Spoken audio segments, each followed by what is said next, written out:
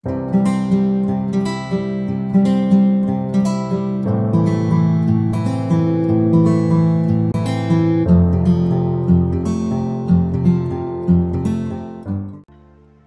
a tutti, ciao a tutti, ben ritrovati sulla piattaforma YouTube, sul nostro canale Stefano Bernardi Meteo. Ci siamo, i 1600 iscritti sono eh, a pochissimi metri, eh, stiamo a 1590 e quindi veramente siamo lì eh, a pochissimi metri da quest'altro traguardo. Allora iscrivetevi al canale se non lo avete fatto, fate iscrivere amici, parenti, eh, tutti quelli che voi conoscete, fatevi iscrivere perché il traguardo dei 1600 ormai, ormai è lì, ma ricordiamoci sempre che l'obiettivo principale è quello dei 2000 iscritti per il mese di novembre e iniziare il semestre freddo eh, con una famiglia allargata a 2000 iscritti e questo è l'obiettivo principale. Quindi iscrivetevi, attivate la campanella delle notifiche e lasciate un like alla fine del video per spingere il video e il canale e commentate come sempre. Ehm, beh, eh, dicevamo 15 settembre, quindi giro di boa del mese di settembre, eh, l'equinozio d'autunno ormai vicinissimo, manca una settimana, domenica 22 avverrà l'equinozio d'autunno, ehm, la circolazione barica, l'atmosfera, eh, le precipitazioni che abbiamo avuto, le, mh, mm, le nevicate sulle Alpi eh, a quote relativamente basse eh, per la stagione, le nevicate sull'Appennino a quote relativamente basse eh, per la stagione. Qui in Abruzzo, ad esempio, eh, ci sono state imbiancate nevicate dai 2000 metri, ma ci sono stati episodi di, di, precipitazione nevosa, quindi senza accumulo, ma fino addirittura attorno ai 1500 metri. Quindi, insomma, una situazione. Ehm,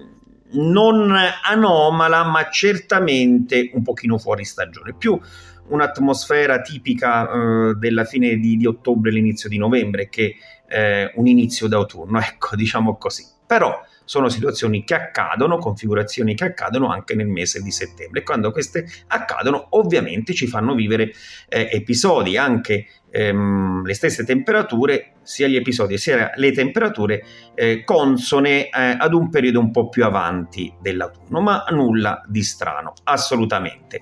Ehm, questa chiacchiera che ci facciamo come sempre sul canale YouTube ehm, vuole invece eh, puntare il dito sul proseguo di questo mese di settembre, perché attenzione, non c'è niente che mi fa e ci fa pensare che questo settembre possa eh, mostrare un volto sia più stabile e persistente eh, di una figura anticiclonica. Non ci sono assolutamente segnali ehm, per, questa, per questa evoluzione, per questa tendenza del mese di settembre ma eh, al contrario ci sono mh, tanti segnali che ci dicono che questo mese di settembre, anche, sia nella prossima settimana, ma anche nell'ultima settimana, eh, possa essere ancora molto dinamico e con nuovi peggioramenti, seppur eh, con caratteristiche diverse, ehm, pronti ad interessare il Mediterraneo occidentale, ma quello che ci interessa a noi è soprattutto l'Italia. Quindi Nessun segnale ad oggi di un settembre che possa voltare pagina e mostrarsi più stabile, ma bensì altri segnali che ci mostrano che questo settembre potrebbe proseguire con la sua dinamicità più totale e quindi nuovi peggioramenti all'orizzonte. Ehm, in questo contenuto mh, mm, spieghiamo anche un attimo non si tratta di Ponte di Woikoff, quello al quale andiamo incontro la prossima settimana, perché sto leggendo e, e, e oltretutto in tanti mi mandano i messaggi eh, perché io non l'ho chiamato Ponte di, di, di Woikoff se in realtà qualcun altro lo chiama Ponte di Woikoff, semplicemente perché non è un ponte di Woikoff. Eh, adesso senza andare poi nei, eh, nelle specifiche precise ehm, di usare terminologie che sono anche eh, diciamo scomode da, da, capire per voi e per eh, insomma per chi eh, vuole affrontare questa materia della mani- della meteorologia in maniera diciamo più, eh, più, serena, più tranquilla, più trasparente, però vi faccio capire perché non è un punto di Wyckoff quello della prossima settimana. Ma innanzitutto andiamo a vedere quello che accade la prossima settimana, che è una conferma, una super conferma di tutto quello che noi abbiamo detto anche questa volta e ne siamo felici ed orgogliosi eh, da diversi giorni fa. Eccola qui questa prima carta, è una carta ehm, che ci mostra praticamente, è come se avessimo fatto un copia e incolla ehm, delle ultime carte che vi ho fatto vedere durante il corso degli ultimi contenuti. Eh, praticamente mh, questo è per martedì 17, eh, guardate eh, il ponte anticiclonico, quello sì, guardate che bella questa carta, ve l'ho detto anche nell'ultimo contenuto, ma è bella didatticamente, meteorologicamente, anche perché è una configurazione che eh, né da novembre a marzo queste sono configurazioni che portano peggioramenti di stampo invernale eh, forti, potenti, eh, cruenti eh, sono quei peggioramenti che mh, mm, in, tra, mar- tra, novembre e marzo eh, portano anche le nevicate eh, fino alle quote di pianura, fin sulle coste, ad esempio eh, adriatiche. Ecco, una configurazione così, ehm, se parliamo ad esempio per il nord Italia, eh, può portare delle nevicate ad esempio su Venezia. Eh, se parliamo del centro Italia, sono delle configurazioni che eh, tra novembre e marzo possono portare delle nevicate su Pescara, su Ancona, se andiamo al sud, a Bari. Ecco, insomma, sono quelle configurazioni che tra novembre e marzo portano gelo e neve fino alle quote di pianura e fin sulle coste, ad esempio, del versante adriatico. Poi, quando i nuclei, vedete quella B, eh, sconfinano ad esempio anche sul Tirreno, ecco che si creano anche quelle situazioni da poter portare delle nevicate fino in pianura, ma anche sulle coste delle regioni del versante tirrenico. Insomma, una configurazione del genere con una, un nucleo depressionario che poi eh, eh, riesce ad entrare anche nel Mar Tirreno può portare ad esempio anche la neve su Roma, ecco, per, per, per citare anche la capitale. Comunque, eh, quello, questo è quello che ci aspetta durante il corso della prossima settimana, soprattutto eh, tra lunedì, martedì 17 e eh, mercoledì 18, aria fredda, nucleo depressionario soprattutto in quota, quindi aspettiamoci su gran parte dell'Italia, soprattutto il centro-nord, ma un po' tutta l'Italia, dell'instabilità atmosferica, nuova diminuzione delle temperature e vedrete che ricomparirà anche eh, la neve sulle alte quote eh, sia delle Alpi, ma in questo caso probabilmente più dell'Appennino, sulle alte quote dell'Appennino centro-settentrionale, quindi l'Appennino eh, abruzzese, ad esempio il Gran Sasso eh, rivedrà probabilmente la neve, come le alte quote anche dell'Appennino tosco-emiliano. Eh, insomma, mm, questo è il peggioramento, questa è la situazione che ci aspetta almeno nella prima parte della prossima settimana. Eh, non è un ponte di Woikov, questa è un'alta pressione che si collega tra l'anticiclone delle Azzorre e, e si collega con un anticiclone russo-scandinava. Vedete,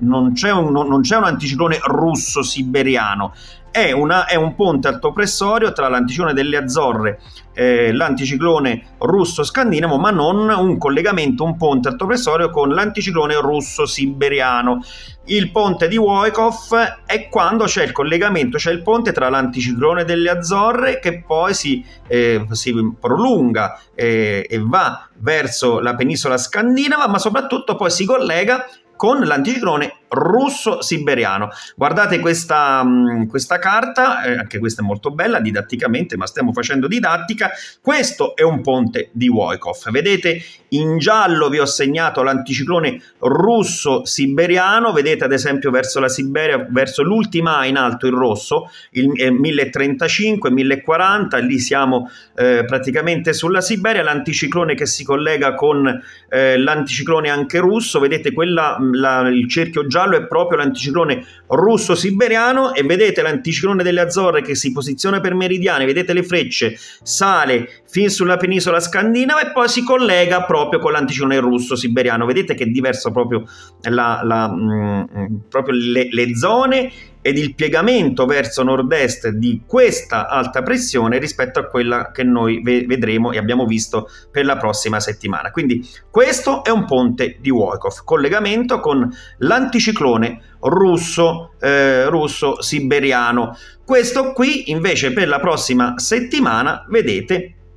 è un, è un, ponte anticiclonico ma non il ponte di Woikov perché è un collegamento Azzorre eh, alta pressione ehm, russa scandinava. Ok? Detto questo, eh, passiamo all'ultima carta che vi voglio far vedere oggi, che è per eh, sabato 21 settembre, perché questa carta eh, mi fa pensare, ci fa pensare che anche l'ultima settimana poi di settembre possa essere ehm, caratterizzata da molto dinamismo e dall'arrivo di nuovi peggioramenti, peggioramenti che probabilmente l'ultima settimana di settembre arriveranno da ovest. Occhio, bisog- secondo me nell'ultima settimana di settembre ci giocheremo qualche peggioramento importante da ovest con piogge importanti che potrebbero arrivare sull'Italia. Segnali ad oggi, segnali li, li riprenderemo al prossimo contenuto. Vedete eh, l'alta pressione posizionate in quelle zone un po' strane, un po' anomale, vedete sul, sul nord Europa, eh, l'alta pressione che poi dal nord Europa, vedete, arriva fin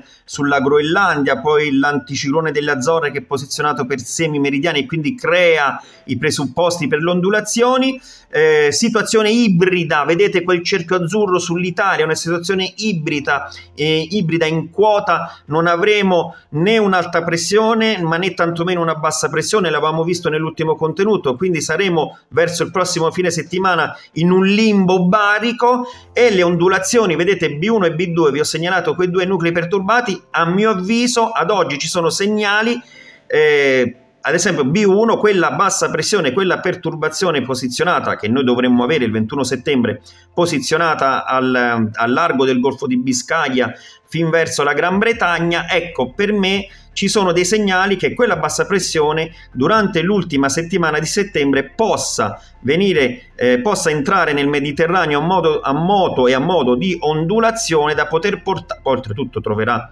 un, un polo attrattore, la calamita, che è quella quel cerchio azzurro, quella situazione ibrida sull'Italia può fare da polo attrattore a quella perturbazione, potrebbe entrare proprio nel cuore del Mediterraneo da ovest e lì apportando eventualmente nell'ultima settimana di settembre un importante peggioramento con piogge, e non un peggioramento dal carattere freddo, ma piogge diffuse un po' su tutta l'Italia. Però adesso questo è un segnale. Ehm, sono segnali importanti che ci fanno intuire eh, che l'ultima settimana di settembre anche possa essere caratterizzata da nuovi peggioramenti. Questa volta mm, potrebbero essere dei peggioramenti da ovest forieri di piogge sull'Italia, ma fermiamoci per l'ultima settimana di settembre ai segnali. Ecco, non chiamiamola ancora tendenza, però sono segnali importanti. Ci torneremo proprio nel prossimo contenuto.